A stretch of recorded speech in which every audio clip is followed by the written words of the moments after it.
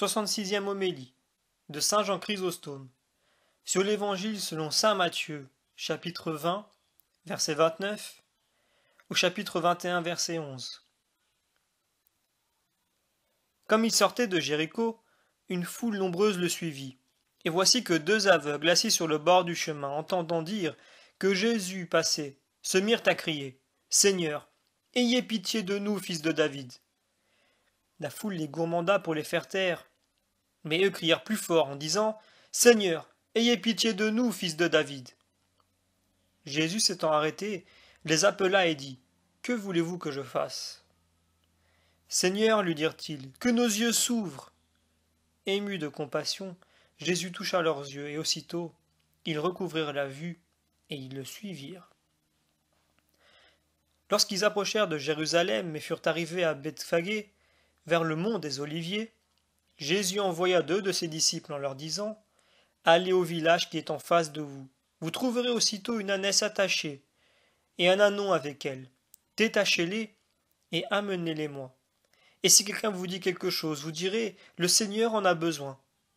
Mais il les renverra bientôt. Or ceci arriva, afin que s'accomplît la parole du prophète, disant Dites à la fille de Sion Voici que ton roi vient à toi, plein de douceur, monté sur une ânesse et sur un anon, fils de celle qui porte le joug. Les disciples allèrent donc et firent comme Jésus leur avait commandé. Ils amenèrent l'ânesse et l'anon, mirent sur eux leurs manteaux, et il s'assit dessus. Une foule énorme étendit ses manteaux sur le chemin, d'autres coupaient des branches aux arbres et les étendaient sur le chemin. Et les foules, qui allaient devant lui, et qui le suivaient, criaient. Hosanna, au fils de David. Béni soit celui qui vient au nom du Seigneur. Hosanna, au plus haut des cieux. Lorsqu'il entra dans Jérusalem, toute la ville fut en émoi. On disait Qui est celui-ci? Alors nous allons voir dans cette homélie que ces aveugles, par leurs cris persévérants, nous enseignent à nous-mêmes la persévérance qui obtient tout de Dieu par elle seule. Nous verrons aussi que la vue de Jésus-Christ est notre modèle en tout. Nous verrons que l'on donne au monde avec profusion, mais à Jésus-Christ nous donnons avec parcimonie. Le saint lui-même rougit d'avoir parlé si souvent de ce sujet avec si peu de fruits nous verrons que l'on doit donner aux pauvres ce qui reste de notre revenu sans vouloir augmenter notre bien, qu'il n'y a point de rente plus assurée que l'argent qu'on donne aux pauvres, ni de meilleur bien qu'on puisse laisser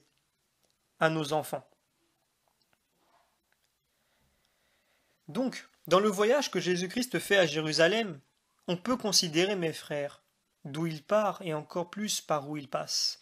Et pourquoi il ne va pas dans la Gaulée, mais passe par la Samarie? Nous laissons néanmoins cette dernière question à résoudre à ceux qui s'appliquent avec soin à l'intelligence de l'écriture. Car si on examine bien ce que dit saint Jean, on trouvera qu'il en marque la raison, quoique d'une manière assez obscure. Poursuivons donc notre dessein et écoutons ces aveugles qui étaient plus éclairés que beaucoup de ceux qui voient bien clair. Quoiqu'ils n'aient point de guide, et qu'ils ne puissent voir Jésus-Christ qui venait à eux, ils ont néanmoins un désir ardent d'aller le trouver. Ils crient vers lui, et plus on veut les faire taire, plus ils élèvent la voix. C'est là la marque d'une âme ferme et constante. Plus on s'oppose à elle, plus elle fait d'efforts pour vaincre tous les obstacles. Jésus-Christ permettait que l'on pressa si fort de se taire pour nous faire mieux connaître l'ardeur de leur foi, qui les rendait si dignes d'être guéris. C'est pourquoi il ne leur demande point comme il faisait à tant d'autres s'il croyait qu'il pût les guérir. Leurs cris redoublés et les efforts qu'ils faisaient pour s'approcher du Sauveur en rendaient un assez grand témoignage. Et ceci nous fait voir, mes frères, que quelque petits et méprisables que nous soyons, si nous approchons de Dieu avec ardeur et avec foi, nous pourrons obtenir par nous-mêmes tout ce que nous désirons. Nous ne voyons point qu'aucun des apôtres ait parlé au Fils de Dieu pour ces aveugles. Plusieurs, au contraire, tâchaient de leur fermer la bouche et de leur imposer silence, et néanmoins, malgré tous ces obstacles, ils ont trouvé enfin moyen de se présenter à Jésus-Christ. L'Évangile même ne témoigne pas que leur vertu ait pu leur donner cette confiance. La seule ferveur qu'ils font paraître en ce moment leur tient lieu de tout. imitons-les, mes frères. Et quand Dieu différerait de nous donner ce que nous lui demandons, quand plusieurs s'opposeraient à nos demandes, nous cessons point de, de prier, puisque rien n'est plus capable d'attirer sur nous la miséricorde de Dieu que cette persévérance pleine de foi.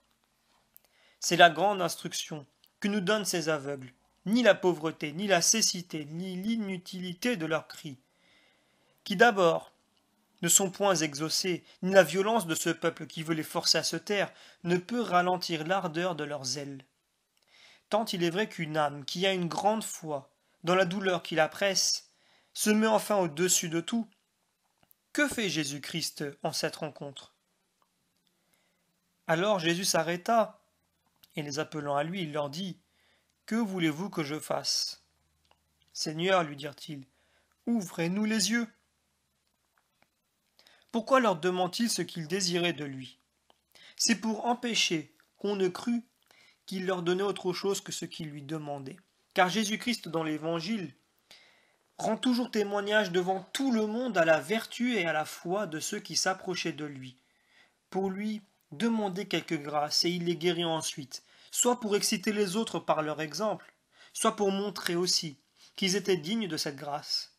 C'est ainsi qu'il traita la cananéenne le centenier et l'hémorroïs.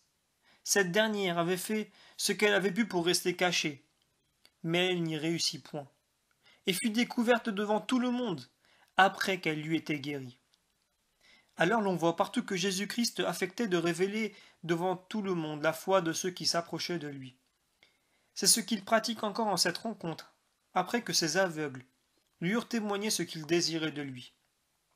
Et Jésus, ému de compassion, leur toucha les yeux, et ils virent au même moment, et le suivirent.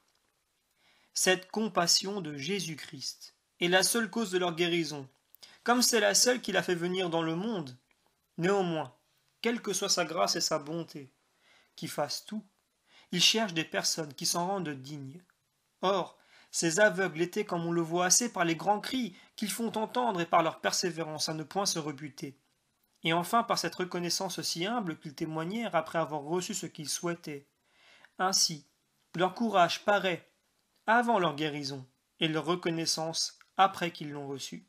C'est pourquoi l'Évangile ajoute qu'ils le suivirent. Et comme ils approchaient de Jérusalem, étant déjà arrivés à Bethphagée, près de la montagne des Oliviers, Jésus envoya deux de ses disciples en leur disant Allez-vous-en dans ce village qui est devant vous, et vous y trouverez aussitôt une ânesse liée et son ânon auprès d'elle. Déliez-la et amenez-la moi. Et si quelqu'un vous dit quelque chose, dites-lui que le Seigneur en a besoin. Et aussitôt, il les laissera aller. Or, tout ceci s'est fait afin que cette parole du prophète fût accomplie. Dites à la fille de Sion Voici votre roi qui vient à vous plein de douceur, monté sur une ânesse et sur l'ânon de celle qui est sous le joug. Jésus-Christ avait souvent été à Jérusalem, mais il n'y avait jamais paru avec cet éclat. D'où vient donc qu'il y voulut alors entrer de la sorte? C'est parce qu'au commencement de sa prédication, n'étant pas encore fort connu, ni si près de sa passion, il se mettait indifférent avec eux, indifféremment avec les autres comme un homme du commun, et cherchait plutôt à se cacher qu'à se découvrir. Car s'il eût voulu paraître plutôt ce qu'il était, il ne se fût pas acquis tant de respect par sa modération, et on lui aurait porté plus d'envie. Mais, enfin, après avoir donné tant de marques de sa puissance, et étant, à la veille de sa passion, il fait paraître sa grandeur avec plus d'éclat. Quoique ses adversaires ne le voient que d'un œil jaloux, il aurait pu faire dès le commencement de sa prédication ce qu'il fait à la fin, mais cette humilité avec laquelle il s'est caché si longtemps nous est plus utile. Considérez ici, mes frères, combien Jésus-Christ fait de miracles en un seul jour, et combien il accomplit de prophéties. Il prédit à ses disciples qu'il trouverait un âne, et il le trouve. Il les assure que personne ne les empêcherait de l'amener, et personne ne les en empêche. Et certes, cette facilité et la confusion des Juifs est le sujet d'un grand reproche pour eux, puisque ceux qui n'avaient peut-être jamais vu le Sauveur lui accordent à la moindre parole tout ce qu'ils désirent, pendant que les Juifs qui le voyaient tous les jours faire tant de miracles et par lui-même et par ses disciples, ne peuvent se résoudre à le recevoir. ne regardez pas cette action comme une chose peu considérable, car qui a pu persuader à ces personnes apparemment pauvres, et qui peut-être gagnaient leur vie par leur travail, de laisser ainsi emmener ces animaux sans s'y opposer, non seulement sans s'y opposer, mais sans demander même pourquoi on les emmenait, ou comment, après l'avoir demandé, les laissait-il aller sans aucune résistance? Car l'un et l'autre me paraît également admirable, ou de ne point s'opposer lorsqu'on emmenait leurs bêtes, ou de s'en contenter qu'on leur dit, pour toute raison, que le maître en avait besoin, sans savoir même quel était ce maître, puisqu'ils ne le voyaient pas, mais seulement ses disciples. Après cela, qui ne croira que lorsque les Juifs ont entrepris de se saisir de sa personne, il aurait pu, s'il eût voulu, les arrêter tous d'un clin d'œil? Et n'apprenait-il pas par cet exemple à tous ses disciples qu'ils devaient lui donner de bon cœur tout ce qu'il leur demanderait, quand ce serait leur propre vie? Car si des inconnus obéissent au moindre mot que Jésus-Christ leur fait dire, ils doivent faire les disciples de ce divin Maître. Nous pouvons dire encore que Jésus-Christ, par cette action, accomplit une double prophétie, l'une d'action et l'autre de parole. La première, en s'asseyant sur un âne, et la seconde, parce que le prophète Zacharie avait prédit qu'il s'assirait ainsi comme étant roi. Mais en accomplissant une ancienne prophétie, il donnait lieu à une nouvelle, dont il traçait la figure, marquant la vocation des gentils qui, après avoir vécu jusqu'alors comme des animaux impurs, devaient l'adorer peu après et s'assujettir à lui afin qu'il reposât sur eux. Ainsi, l'accomplissement d'une prophétie était le commencement d'une autre. Pour moi, je ne crois pas que ce soit pour cette seule raison que Jésus-Christ voulut faire cette entrée dans Jérusalem. Monter, comme il était sur une ânesse, il a voulu, par cette action si humble, nous donner encore l'exemple de l'humilité et de la modération chrétienne. Car Jésus-Christ a voulu non seulement accomplir les prophéties par toutes ses actions, et établir les dogmes et les vérités que nous devons croire, mais a voulu encore se rendre le modèle de notre vie et nous apprendre, par toute sa conduite, à nous borner toujours à la seule nécessité et à garder une grande modération en toutes choses. C'est pour ce sujet que, devant naître au monde, il ne chercha point de maison magnifique et ne choisit point une mère riche et illustre, mais une femme pauvre, mariée à un charpentier. Il naît dans une grotte et on le met dans une crèche. Il choisit pour disciples non des orateurs, non des philosophes ou des personnes riches et de naissance, mais de pauvres gens qui étaient entièrement inconnus au monde. Sa table était souvent couverte de pain d'orge, ou de pain que ses disciples achetaient au moment qu'ils en avaient besoin, il se mettait sur la terre pour manger. Et pour y faire manger les autres, il s'habillait fort pauvrement et n'avait rien dans ses vêtements qui fût différent de ceux du commun du peuple. Il n'avait point de maison qui fût à lui. Quand il allait d'un lieu à un autre, il faisait tous ses voyages à pied, jusque-là même que souvent il en était fatigué. Quand il voulait se reposer, il ne se servait ni de chaise ni d'oreiller. Il se mettait sur la terre, tantôt sur une montagne, tantôt auprès d'une fontaine, comme lorsqu'il parla à la femme de Samarie. Voulons nous donner encore un exemple de modération jusque dans nos douleurs et dans nos tristesses. Lorsqu'il pleura la mort de Lazare qu'il aimait particulièrement, il ne versa que peu de larmes pour nous donner ainsi en toutes choses des règles de la modération chrétienne, et nous en marquer les bornes, car nous ne devions jamais dépasser. C'est pourquoi, prévoyant qu'il se trouverait assez de personnes faibles qui ne pourraient aller à pied, il leur apprend ici par son exemple quelle modération Il convient, en cela, de garder. Il choisit la monture la plus simple. Quelle leçon pour ces riches qui excèdent toute mesure dans la magnificence de leur équipage. Mais voyons maintenant quelle est cette prophétie d'action et de parole dont je parlais. Fille de Sion, dit le prophète, Voici votre roi qui vient à vous plein de douceur, monté sur une ânesse et sur l'ânon de celle qui est sous le joug. Il ne fera point cette entrée monté sur un char magnifique comme les rois. Il n'imposa point de tribut, il n'exigea point d'impôt. Il ne sera point fier et superbe. Il ne se fera point craindre par le grand nombre de gardes qui l'accompagnent, mais il témoignera en toutes choses une douceur et une humilité toute divine. Qu'on demande aux Juifs quel autre roi que Jésus est jamais entré dans Jérusalem monté sur un âne? Mais Jésus-Christ voulait figurer ainsi l'avenir, et ce petit ânon marquait l'église des gentils, qui jusque-là ayant été toujours vicieuse et indomptée, allait devenir toute pure, aussitôt que Jésus-Christ se serait reposé sur elle. Et il est bon de considérer toutes les circonstances de cette histoire, et les apports admirables qui se trouvent entre la figure et la vérité. Les apôtres délient ces animaux. Ce sont en effet les apôtres qui nous ont appelés à la connaissance de Jésus-Christ et à cette foi, qui a donné ensuite de l'émulation aux Juifs. C'est pourquoi on voit ici que cette ânesse suit l'annon. Parce que, lorsque Jésus-Christ s'est reposé parmi les gentils, les Juifs, excités par leurs exemples, ont voulu aussi embrasser la foi. Saint Paul marque cette vérité lorsqu'il dit qu'une partie des Juifs est tombée dans l'endurcissement afin que la multitude des nations entra cependant dans l'Église et qu'ainsi tout Israël fut sauvé. Pour faire voir encore que tout ce qui se passait ici était une prophétie, il ne faut que considérer toutes les paroles de cette histoire. Car sans cela, qui croirait que le prophète se fût arrêté à parler si particulièrement d'un petit anon Ce qui confirme encore ceci, c'est que les apôtres ne trouvent aucune résistance lorsqu'ils veulent le délier. Ces animaux, ce qui marquait que dans l'établissement de l'Église rien ne les empêcherait de rompre les liens des gentils et de les affranchir de l'idolâtrie. Les disciples, donc, s'en étant allés, firent ce que Jésus leur avait commandé, et amenèrent l'ânesse et l'ânon. Et les ayant couverts de leurs vêtements, les firent monter dessus. Or, une grande multitude de peuple couvrit le chemin de ces vêtements.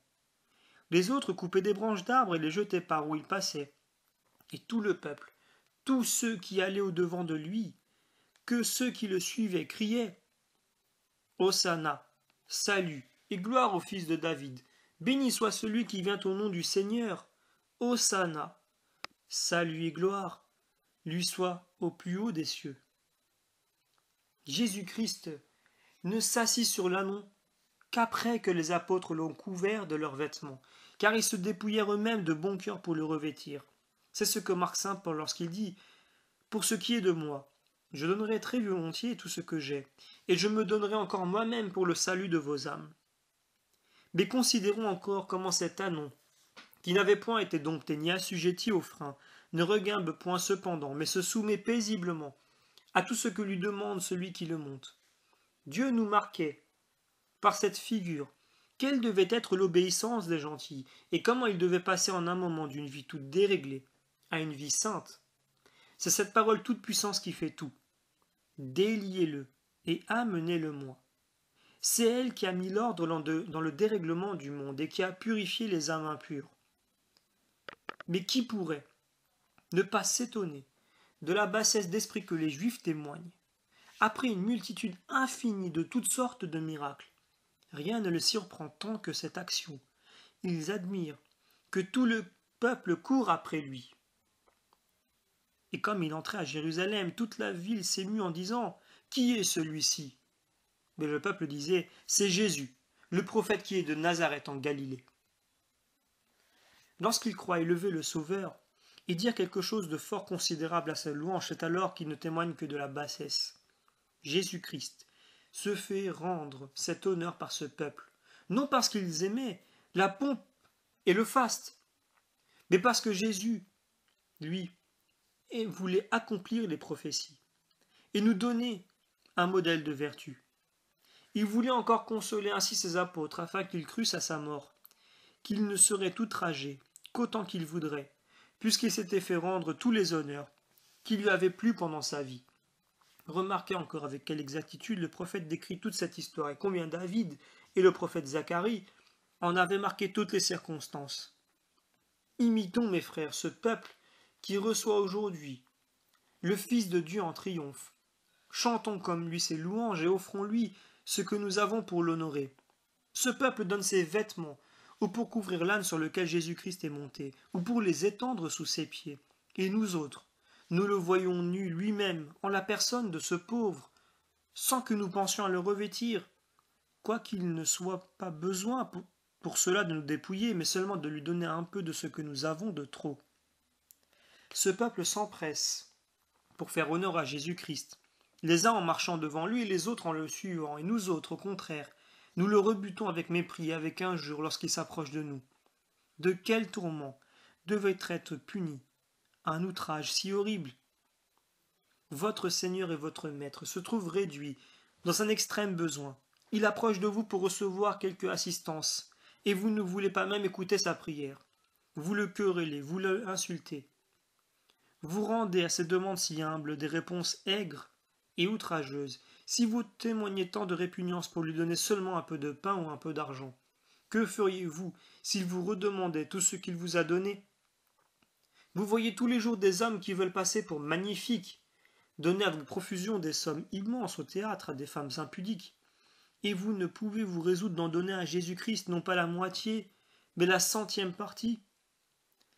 Le démon vous commande d'un côté de donner par vanité à ces personnes infâmes, et vous le faites, quoique vous soyez assuré de n'avoir point d'autre récompense de ces profusions que l'enfer.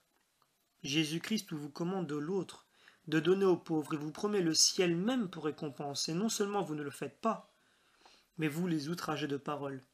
Vous aimez mieux obéir au démon en vous perdant que d'obéir à Jésus-Christ en vous sauvant. Y a-t-il rien de plus déplorable que cette folie?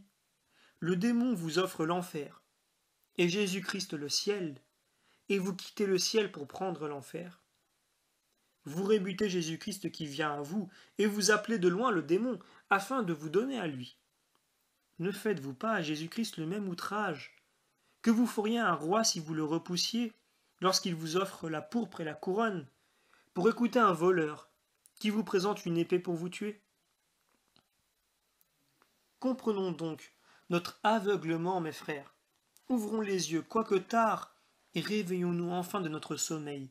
Je rougis de vous avoir parlé si souvent de l'aumône, et de n'en avoir pas retiré tout le fruit que j'attendais. Je sais que quelques-uns ont fait quelques efforts, mais on n'a pas encore fait ce que j'avais espéré. J'en vois quelques-uns semés, à la vérité, mais d'une main si resserrée que je tremble, que je prévois quelle sera la moisson. Pour vous faire voir combien vous êtes resserrés dans vos aumônes, vous n'avez qu'à considérer dans cette ville quel est le plus grand nombre, ou des riches ou des pauvres, et combien il y en a de ceux qui ne sont ni extrêmement pauvres ni extrêmement riches, mais qui tiennent comme le milieu entre ces extrémités? Je crois que les personnes fort riches font la dixième partie de la ville, et que les gens fort pauvres font un autre dixième partie, et que le reste est entre ces deux états, c'est-à-dire ni pauvres ni riches. Partageons donc ce nombre de personnes extrêmement pauvres dans toute la ville, et vous verrez dans ce partage quel sujet de confusion vous aurez de vos duretés. Le nombre des personnes fort riches est assez petit, mais celui des gens médiocrement riches est très grand. Et celui des pauvres, tout à fait pauvres, est assez restreint relativement aux deux autres classes. Il s'ensuit que le nombre des gens pouvant faire l'aumône est très considérable, et bien suffisant pour nourrir tous les pauvres, et cependant, il y a tous les jours dans cette ville beaucoup de nos frères qui s'endorment le soir avant d'avoir pu apaiser leur faim. Non, je le répète, parce que nous sommes dans la puissance de les secourir, mais parce que notre dureté nous en ôte le désir. Car si les riches et ceux qui ont du bien médiocrement avaient soin de partager entre tous les pauvres, à peine cent cinquante personnes en auraient-elles eu à nourrir pour chaque personne? Et cependant, on voit les pauvres se plaindre tous les jours de leur misère au milieu de tout le monde, qui pourrait les en délivrer. Pour vous faire voir plus clairement jusqu'où va cette dureté des riches, considérez à combien de pauvres, de veuves et de vierges cette Église distribue tous les jours les revenus qu'elle a reçus d'un seul riche, qui ne l'était pas même extraordinairement. Le nombre qui en est écrit sur le catalogue va jusqu'à trois mille, sans parler des assistances qu'on rend à ceux qui sont dans les prisons, de ceux qui sont malades dans les hôpitaux, des étrangers, des lépreux, de tous ceux qui servent à l'hôtel, de tant de personnes qui surviennent tous les jours, auxquelles elle donne la nourriture et le vêtement, sans que néanmoins ces richesses diminuent. Si seulement dix personnes riches voulaient assister ainsi les pauvres de leurs biens. On ne verrait plus un seul pauvre dans toute la ville d'Antioche. Vous me direz peut-être, si nous dépensons ainsi notre bien, que laisserons-nous à nos enfants? Vous leur laisserez au moins le fond, et puis le revenu si bien dispensé se multiplierait sans doute. Vos aumônes sont comme un dépôt dans le ciel. où vous vous amassez un trésor. Que si cela vous paraît trop rude, ne donnez aux pauvres que la moitié de votre revenu, ou la troisième partie, ou si vous voulez, la quatrième, ou tout au moins la dixième. Je crois que, par la miséricorde de Dieu, la ville d'Antioche est dans un tel état qu'elle seule pourrait nourrir chaque jour tous les pauvres de dix autres villes?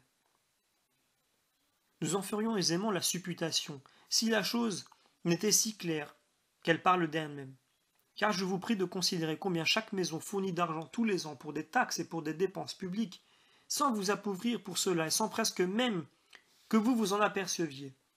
Si donc chaque riche voulait ainsi se taxer lui-même pour nourrir les pauvres, il ne lui faudrait que très peu de temps pour ravir le ciel. Après cela, quelle excuse nous restera-t-il, mes frères, lorsque nous verrons en rougissant que nous aurons été infiniment plus resserrés à donner aux pauvres, que les gens du monde ne l'auront été à donner à des comédiens, quoique nous fussions assurés que cette libéralité sainte nous aurait été si avantageuse. Quand nous devrions vivre toujours sur la terre, nous serions néanmoins obligés d'être libéraux envers les pauvres. Mais, devant en sortir sitôt et en sortir nus et dépouillés de tout, comment nous excuserons-nous de ne leur donner rien de tant de bien dont nous jouissons? Je ne vous ordonne point de diminuer votre fonds. J'avoue néanmoins que je le souhaiterais, mais je vous y vois peu disposé. Tout ce que je vous conjure donc de faire, c'est de donner au moins de votre revenu, et de n'en rien épargner pour le serrer dans vos coffres. N'est-ce pas assez que ces revenus coulent chaque jour dans vos maisons comme une source abondante qui ne tarit point? Faites-en donc découler aussi quelques parties sur les pauvres, et soyez de sages économes des biens que Dieu vous a donnés. Mais je paie, me direz-vous, tant de taxes et tant d'impôts. Négligerez donc, négligerez-vous donc à cause de cela de donner l'aumône aux pauvres, parce que personne ne vous y contraint, quand vos terres n'auraient rien podri. Vous ne laisseriez pas de payer ces impôts sans oser même vous plaindre. Et lorsque Jésus-Christ vous traite avec tant de bonté, qui ne vous demande de vos biens que lorsque l'année a été abondante, vous refusez non seulement de lui en donner, mais même de lui répondre avec douceur, après une telle dureté. Qui pourra jamais vous délivrer de l'enfer, si les peines établies par la justice séculière vous rendent, si exact, à payer tous ces impôts que l'on exige? Que ne vous souvenez-vous qu'il y a d'autres peines que celles qu'on souffre en ce monde, et qui sont infiniment plus à craindre, et qu'alors on ne vous renferme point dans un cachot, mais dans un abîme de feu éternel? Que ce soit donc là les premiers tributs que nous avons soin de payer à l'avenir, puisqu'en cette occasion, notre fidélité ou notre négligence doit être suivie d'une éternité de biens ou de maux.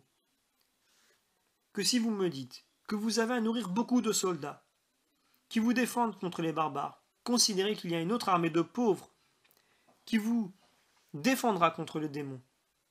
Quand vous avez soin de les assister, ils attirent sur vous par leur prière la grâce de Dieu. Ils écartent de vous ces anges des ténèbres, ils dissipent les pièges qu'ils vous tentent, ils arrêtent leurs efforts et ils délivrent votre âme de leur tyrannie. Puis donc, que ce sont là les soldats qui combattent chaque jour pour vous contre le démon. Exigez de vous-même un tribut pour eux, et contribuez à leur subsistance. Nous avons un roi qui est bien plus doux que ceux du monde. Il n'exige rien par violence, il reçoit ce qu'on lui donne, quelque peu que ce puisse être. Et s'il n'arrive que par quelque nécessité vous demeuriez longtemps sans rien lui payer, il ne vous force point de donner ce que vous n'avez pas. Ainsi, n'abusons point de sa patience, amassons-nous un trésor non de colère, mais de grâce et de salut, non de mort, mais de vie, non de confusion et de tourment, mais de joie et de gloire. Il ne sera point besoin de convertir en argent ce que vous avez, ni d'en payer le transport. Il suffira que vous le donniez aux pauvres. Votre Seigneur fera tout le reste. Il le transportera dans le ciel, il vous en tiendra compte, et ce sera lui-même qui aura soin pour vous de tout ce trafic qui doit vous enrichir pour jamais. Ce que vous lui donnez n'est pas comme ce que vous donnez au roi de la terre. Votre argent périt pour vous lorsqu'il est employé pour faire subsister les soldats, mais il vous demeurera tout entier avec usure. Ce que vous donnez pour les impôts ne vous revient plus, mais ce que vous donnez aux pauvres est toujours à vous et vous le retrouverez avec un gain non seulement temporel, mais même spirituel. En payant les tribus, vous vous acquitterez d'une dette, mais en donnant aux pauvres, vous mettez votre argent à rente. Dieu vous en passe le contrat lui-même, il vous dit Celui qui a pitié du pauvre prête à Dieu son argent. Proverbe, chapitre 19, verset 16. Quoiqu'il soit Dieu et le Seigneur de tout le monde, il n'a pas dédaigné toutefois de nous donner des gages, des témoins et des promesses. Ces gages, c'est le bien qui nous fait en cette vie, et tant de grâces temporelles et spirituelles, qui sont comme les arbres et les prémices, des biens à venir. Comment donc pouvez-vous différer un si heureux commerce Vous qui avez déjà tant reçu de celui qui vous a confié votre argent et qui espérez d'en recevoir encore plus à l'avenir? Avez-vous bien pensé à ce qui vous a déjà donné A formé votre corps, il a créé votre âme. Il vous a honoré du don de la raison et de l'intelligence. Il vous a donné l'usage de tout ce qui se voit sur la terre. Il vous a fait la grâce de le connaître. Il vous a donné son propre Fils. Il l'a livré à la mort pour vous. Il vous a ouvert dans le baptême la source de tous les biens. Il vous a préparé une table sainte. Il vous a promis un royaume et des richesses incompréhensibles. Après tant de biens qu'il vous a fait et tant d'autres qu'il veut vous faire, vous craignez de lui donner un peu d'argent. Méritez-vous après cela qu'il vous regarde. Quelle excuse allégrez-vous Direz-vous que, lorsque vous considérez vos enfants, vous ne pouvez vous empêcher d'être retenu dans vos aumônes? Que n'accoutumez-vous, au contraire, vos enfants à cette usure sainte et spirituelle dont je vous parle? N'est-il pas vrai que si vous aviez une rente sur une personne bien riche, et qui aurait de l'affection pour vous, vous aimeriez infiniment mieux la laisser à vos enfants qu'un argent comptant, parce qu'ils seraient assurés d'être bien payés, sans avoir besoin de retirer leurs fonds et de le placer ailleurs. Laissez donc à vos enfants Dieu même pour débiteurs, et qu'il leur soit redevable d'une grande somme. Vous avez soin de ne point vendre vos terres afin de les laisser à vos enfants, et que le revenu leur en demeure, et vous craignez de leur laisser une rente dont les arrérages passent le revenu de toutes les terres et dont le fonds est aussi assuré que Dieu même. Ne faut-il pas avoir perdu la raison pour agir de la sorte? Lorsque surtout, laissant à vos enfants le contrat de cette rente, vous l'emportez en même temps avec vous? Car c'est le propre des choses spirituelles, de se multiplier ainsi, et de suffire en même temps à plusieurs. Enfin, mes frères, ne demeurant point pauvres et misérables par notre faute, ne soyons point cruels et inhumains envers nous-mêmes, entreprenons de grand cœur ce trafic si louable et si utile, afin que nous en recueillions les fruits après notre mort, qu'il passe encore à nos enfants, et qui nous fasse jouir de ces biens ineffables que je vous souhaite par la grâce, et par la miséricorde de notre Seigneur Jésus-Christ, à qui, avec le Père et le Saint-Esprit, et la gloire, l'honneur et l'empire, dans tous les siècles des siècles. Amen.